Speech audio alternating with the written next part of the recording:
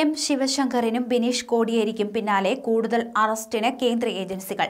മന്ത്രി K T ജലീലിനെ ഇഡിക്കും എൻ ഐ എക്കും പിന്നാലെ കസ്റ്റംസും ഉടൻ തന്നെ ചോദ്യം ചെയ്യും. ചോദ്യം ചെയ്യലിന് ശേഷം അറസ്റ്റ് ചെയ്യാനും നീക്കമുണ്ട്. ജലീലിനെതിരെ നിർണായക തെളിവുകൾ ലഭിച്ചുവെന്നാണ് സൂചന. ചോദ്യം ചെയ്ത് തെളിവ് കണ്ടെത്തി അറസ്റ്റ് ചെയ്യണമെന്നാണ് കസ്റ്റംസ് നിയമം.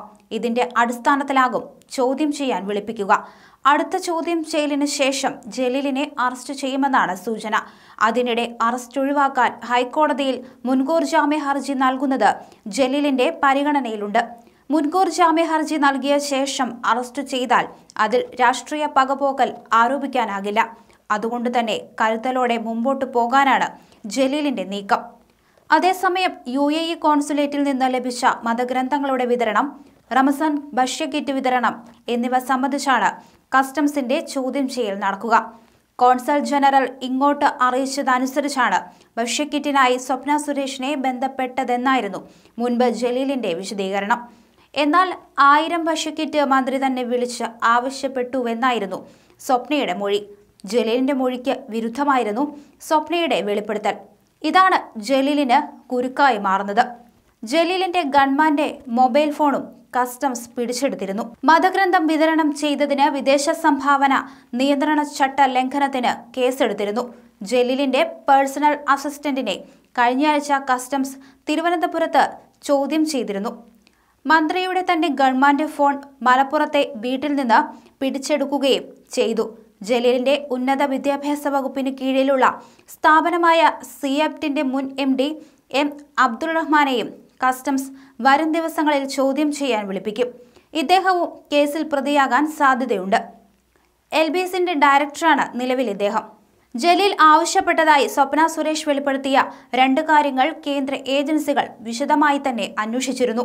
ദുബായിൽ ജോലി ചെയ്യുന്ന മലയാളിയെ നാടുകടത്തി കേരളത്തിലെത്തിക്കാൻ യു എ ഇ കോൺസൽ ജനറലിന്റെ സഹായം തേടിയെന്നതാണ് ഒരു കാര്യം. ഇയാൾ ദുബായിൽ ജലീലിനെതിരെ അപകീർത്തികരമായ പരാമർശം നടത്തിയതിന്റെ പേരിലാണത്രേ നാടുകടത്തിപ്പിക്കാൻ ശ്രമിച്ചത്. കേന്ദ്ര സർക്കാരിനെ അറിയിക്കാതെ തന്നെ ഇന്ത്യക്കാരനെ നാടുകടത്തിപ്പിക്കാൻ ശ്രമിച്ചത് ഗൗരവത്തോടെയാണ് കാണുന്നത്. കോടതി ഉത്തരവും കേന്ദ്ര ആഭ്യന്തര വിദേശകാര്യ മന്ത്രാലയങ്ങളുടെ അറിവും ഇല്ലാതെ ഇത്തരമൊരു ഇടപെടൽ മന്ത്രി നടത്തിയിട്ടുണ്ടെങ്കിൽ കുറ്റകരമാണെന്നാണ് ബന്ധപ്പെട്ടവർ പറയുന്നത്. അലാവുദ്ദീൻ എന്നയാൾക്ക് കോൺസുലേറ്റിൽ ജോലി ലഭിക്കാൻ ജലീൽ ഇടപെട്ടു എന്നതാണ് അന്വേഷണത്തിലുള്ള രണ്ടാമത്തെ കാര്യം. സ്വപ്ന സുരേഷിന്റെ മൊഴിയാണ് ജലീലിന് വിനയാകുന്നത്. ദുബായിൽ ജോലി ചെയ്യുന്ന എടപ്പാൾ സ്വദേശിയെ യു എയിൽ നിന്ന് നാടുകടത്താൻ മന്ത്രി യു എ ഇ കോൺസൽ ജനറലിന്റെ സഹായം തേടിയെന്ന വെളിപ്പെടുത്തലാണ് വിവാദത്തിലായിരിക്കുന്നത്. മൊഴിയിൽ അന്വേഷണം വേണമെന്ന് പ്രവാസിയുടെ കുടുംബം തന്നെ ആവശ്യപ്പെടുന്നുണ്ട്.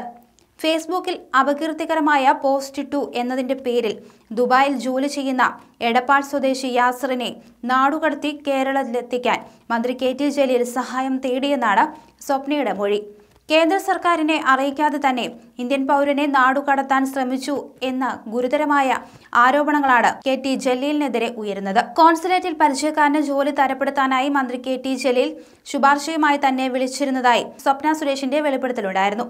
ആയിരം ഭക്ഷ്യക്കിറ്റ് മന്ത്രി ജലീൽ ആവശ്യപ്പെട്ടിരുന്നു. കെ ടി ജലീലിന്റെ ഫോൺ നമ്പർ കാണിച്ച് ആരുടേതാണെന്ന് അറിയുമോ എന്ന് ഈട് ചോദിച്ചപ്പോൾ ഇത് ജലീലിന്റെതാണെന്ന് സ്വപ്ന പറഞ്ഞിട്ടുമുണ്ട്.